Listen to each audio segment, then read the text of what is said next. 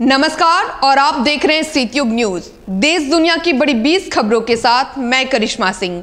तो शोखाना केस में इमरान की पेशी आज। हाजिर नहीं हुए तो गिरफ्तारी वारंट जारी होगा। इस मामले में उनके खिलाफ पुख्ता सबूत।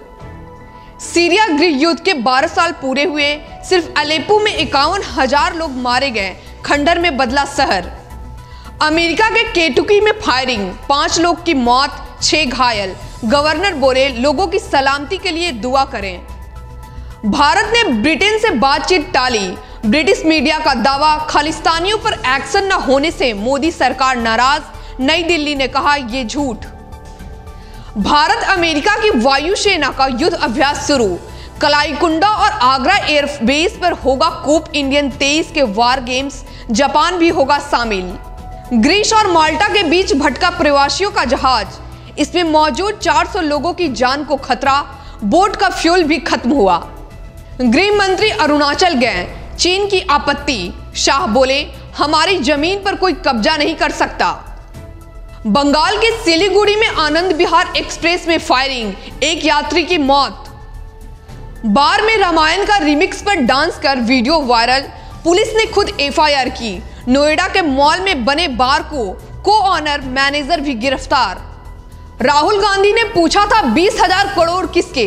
जवाब में अडानी ग्रुप के चार साल का ब्यौरा दिया, कहा हिस्सेदारी बेचकर जुटाएँ। कर्नाटक भाजपा आज जारी करेगी कैंडिडेट्स की लिस्ट सीएम बिमोई बोले, प्रत्याशियों के चयन में कोई कंफ्यूजन नहीं हुआ। रविवार को सीईसी बैठक हुई थी। सांसदी जाने के बाद पहली बार वायनाड दौरे पर राहुल। रैली और रोड शो भी करेंगे। पीएम मोदी पर टिप्पणी करने की वजह से गई थी सदस्यता। वायरल फीवर से भी कम बीमार कर रहा कोरोना। पंचानवे प्रतिशत मरीजों में नहीं दिख रहे लक्षण। आज फिर देश भर में होगी कोरोना मॉक ड्रिल। सिंधे सरकार में एजुकेशन मिनिस्टर चंद्रकांत पाटिल का दावा। जब बाबरी ढांचा गिराया गया, तब अयोध्या में न बाला साहेब थे और न ही शिव सैनिक सुप्रीम कोर्ट में चुनाव आयोग का हल्फनामा। कहा, हम राजनीति में अपराध रोकना चाहते हैं, पर यह हमारे वश में नहीं। मनीष सतेंद्र के समर्थन में आपका लेटर अभियान। 10 लाख दिल्ली वालों से पीएम के नाम पत्र लिखवाया घर घर जाकर चलाया अभियान। कृषि विभाग में ग्रेजुएट के लिए एक हज़ार इकतालीस वैकेंसी, सैलरी तीस हज़ार रुपए मिलेगी। रिलीज़ हुआ किसी का भाई, किसी का जान का ट्रेलर। एक्शन रोमांस से भरपूर है सलमान खान की फ़िल्म। ईद पर होगी रिलीज़। कोलकाता को मिला चक दे इंडिया। कबीर खान जैसा कोच चंदू सर ने हार न मानने का गुण सिखलाया।